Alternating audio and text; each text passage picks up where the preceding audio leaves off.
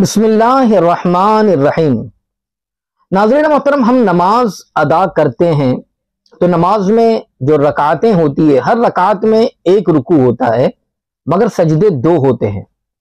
क्या आप जानते कि इसकी वजह क्या है? हर रकात में एक रुकू है, मगर सजदा दो रखा गया है।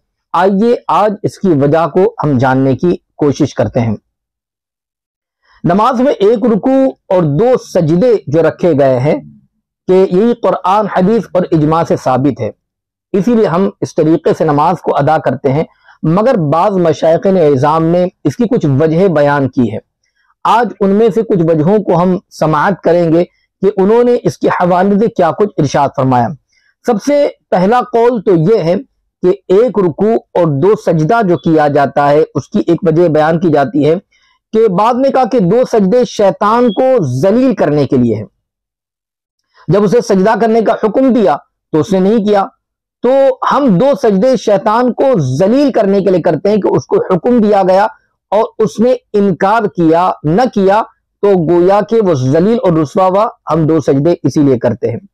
दूसरा कौल यह है कि बाद में कहा कि पहला सजदा यह हुक्म खुदाबंदी था। अल्लाह तबारक वाली ने सजदा करने का हुक्म दिया तो सजदा जो है अल्लाह तबारक वाली के हुक्म पर किया गया। और जो दूसरा सजदा है, वो शैतान जलील खार करने के लिए है कि उसने तकबर की वजह से सजदा नहीं किया। तो अब उसके लिए सजदे शुक्र अदा किया। अल्लाह तेरा शुक्र है। और दूसरा सजदा अदा किया गया। दो वजह बयान की गई। तीसरी वजह की बयान की जा रही है और तीसरा कौल यह है कि पहला सजदा ये ईमान का शुक्रिया है।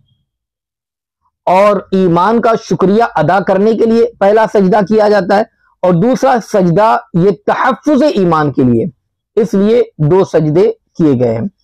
और इसी के साथ साथ में चौथा कौल ये मिलता है कि बाद ने कहा कि पहले सजदे में इस बात की तरफ़ इशारा है कि मिट्टी से पैदा किए गए हैं, फिर सजदे से सर उठाया जाता है, फिर सजदा किया जाता है दूसरा, गोया के मिट्टी ही के अंदर जाना है। मिनहा खलकनाकुम वफीहा नुईदुकुम। जो कहा गया आयत कुरानी है तो जो है ये बावर कराया जा रहा है कि तुम मिट्टी से पैदा किए गए हो और मिट्टी ही में वापस तुम्हें लौट कर जाना है।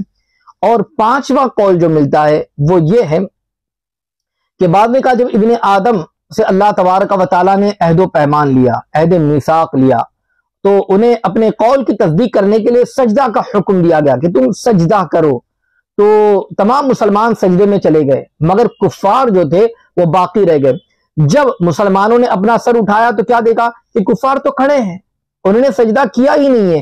तो उन्होंने शुक्रिया के तौर पर फिर अल्लाह तबारक वाली का सजदा किया, दोबारा सजदा किए। इसीलिए एक सजदा जो है, उन्होंने शुक्रिया का फिर अदा किया। तो गोया के एक रकात में उसी चीज़ को करते हुए दो सजदे किए जाते हैं। रुकू, एक है, सजदा दो किया जा रहा है। फताव रजविया शरीफ में, आला हज़रत अजीम बरकत अली रहमत ने इस हवाले से तहरीर फरमाया और इसकी हिकमत को बयान करते हुए इरशाद फरमाते हैं कि जो रिवायत में है कि अल्लाह तबारक वाली ने जब औलाद आदम से अहद लिया था, जिसका ज़िक्र कुरान मुकद्दस के अंदर है तो अल्लाह ने जब वो अहद लिया और उस मौके पर फरमाया, याद करो जब अल्लाह तबारक वाली ने अपने हबीब वसल्लम, ए हबीब, जब आपके रब ने बनी आदम से उनकी पुश्तों में और उनकी औलादों से अहद लिया तो उन्हें बतौर तस्दीक के दो सजदों का हुक्म दिया। तो अल्लाह तबारक वाली के हुक्म से तमाम मुसलमान जो थे, वो सजदा रेज हो गए। लेकिन काफिर खड़े रहे। हुक्म दिया गया था, सबको हुक्म दिया गया था। मुसलमान तो सजदा रेज हो गए, मगर काफिर जो थे, वो खड़े रह गए।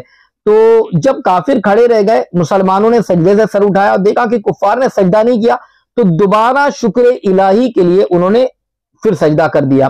तो अल्लाह तबारक वाली ने के उन्हें सजदे अव्वल की भी तोफीक अदा फरमाई। तो मुसलमानों ने दोबारा से सजदा किया तो लिहाजा नमाज़ के अंदर एक रकात में दो सजदे का हुक्म दे दिया गया। ये कुछ हिकमतें इसकी बयान की गई है और रुकू एक ही है। तो आज आपने ये समात कर लिया। कुछ जो अकवाल बयान किए गए हैं, वो अकवाल के ज़रिए आपने जाना कि रकात के अंदर जो ख्याल आता है कि क्याम एक बार, रुकू एक मरतबा, मगर सजदे दो मरतबा क्यों किए जाते हैं? तो आज उसके हवाले से जो बुजुर्गान दीन ने जो अकबाल को बयान फरमाया है, आज उसको आपने समात किया है। इसलिए अल्लाह का शुक्र अदा करते रहे। हर वक्त, हर लम्हा उसका शुक्र अदा करते रहना चाहिए और सजदा करते रहना चाहिए। अल्लाह को सजदा करना बहुत ज़्यादा पसंद है। अल्लाह तमाम को खूब सजदा करने की तौफीक अता फरमाए। आमीन। अस्सलाम वालेकुम